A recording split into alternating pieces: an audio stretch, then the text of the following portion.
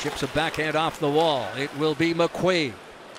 Pressured there by Pearson, who got a stick on it, but the zone cleared nonetheless. Here comes Anderson with speed. Cuts in, fires, scores!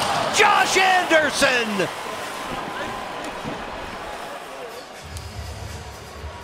Well, great speed by Josh there as the Blue Jackets jump all over a turnover.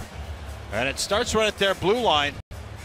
Pierre-Luc Dubois gets in a battle right at, right at the red line. There's the blue line play now. Dubois in this battle.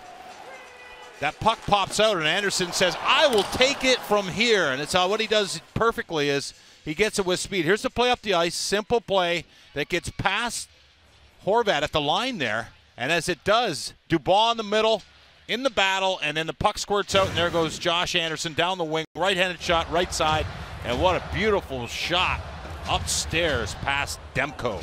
25th goal of the season for Anderson, his third and seventh point in the last six games. 1 0. The all important first goal for the Blue Jackets. And Anderson continues to add to his career high with that 25th goal.